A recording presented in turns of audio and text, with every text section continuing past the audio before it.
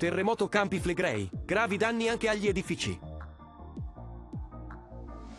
Questa mattina, i residenti di Campi Flegrei e delle aree circostanti sono stati svegliati da una scossa di terremoto di magnitudo 3.9, avvertita distintamente specialmente nei piani alti degli edifici. La scossa, avvenuta alle 5.44 e localizzata a una profondità di soli 3 km con epicentro nel Golfo, ha provocato notevole apprensione tra la popolazione. La gente, spaventata, è scesa per le strade nelle zone di Bacoli e altri quartieri di Napoli, temendo ulteriori scosse.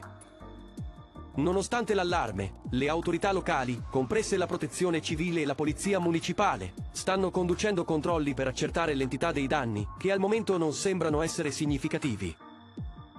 Il fenomeno sismico non è isolato, essendosi verificata una scossa premonitrice di magnitudo 2.4 nella notte, parte di uno sciame sismico che ha caratterizzato la regione con numerose altre scosse, sebbene di intensità inferiore.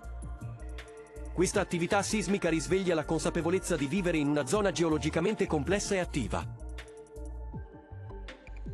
I sindaci delle aree colpite stanno prendendo misure immediate per assicurare la sicurezza dei cittadini e gestire la situazione. Il sindaco di Pozzuoli, Gigi Manzoni, ha attivato i servizi di emergenza e ha fornito informazioni sui contatti utili per eventuali segnalazioni di danni. Il sindaco di Bacoli ha rassicurato la popolazione, sottolineando l'importanza di mantenere la calma e promettendo aggiornamenti costanti. In un intervento su Rai News 24 è stato fatto anche un appello per il completamento del sisma bonus, una misura governativa volta a sostenere i cittadini nell'adeguamento delle abitazioni per renderle più sicure, in caso di terremoti. Questa iniziativa è particolarmente rilevante ora che la frequenza dei movimenti tellurici sembra essere in aumento, sottolineando la necessità di preparazione e prevenzione in queste zone ad alto rischio sismico. Cosa ne pensate? A voi i commenti.